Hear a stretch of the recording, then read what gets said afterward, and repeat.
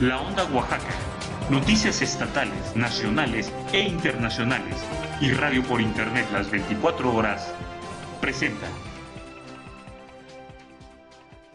Este año y por segunda ocasión consecutiva, el Club Realístico de Oaxaca llevará a cabo el Rally Oaxaca-Huatulco el próximo 12 de julio del presente año. En conferencia de prensa, el presidente del CROAC, Arnel Cruz Salazar, dijo que en esta edición se tienen confirmadas 15 tripulaciones, las cuales serán sometidas al escrutinio técnico de rutina el día 11 de julio. Para el siguiente día se tiene programada la salida a las 7 de la mañana de la ciudad de Oaxaca, tomando la carretera federal 190 el itinerario marca que pasarán por Totolapa, El Camarón, Jalapa del Marqués, Tehuantepec, para posteriormente llegar a las 11 de la mañana al municipio de Salina Cruz, lugar en el que se tendrá una revisión técnica a las diferentes unidades participantes. Terminada dicha revisión, partirán rumbo a Huatulco, lugar en el que se encontrará la meta. Durante la realización del evento no serán necesarios los cortes a la circulación, debido a que esta es una actividad de regularidad. Arnel destacó que se cuenta con el apoyo de la Policía Federal y Trans estatal para la coordinación adecuada de las unidades de motor. Cabe destacar que el rally forma parte como un evento más de las actividades de la Guelaguetza 2014 Es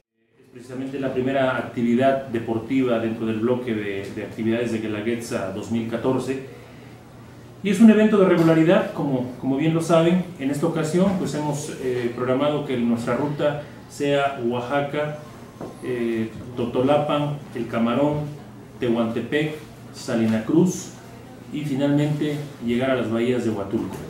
Eh, se darán las últimas indicaciones para que en punto de las 7 de la mañana esté arrancando el primer vehículo. A cada minuto tenemos la salida de, los vehículos participantes. Estamos hablando de eh, alrededor de unas 15 tripulaciones. Esperamos que se integren algunas más durante estos días.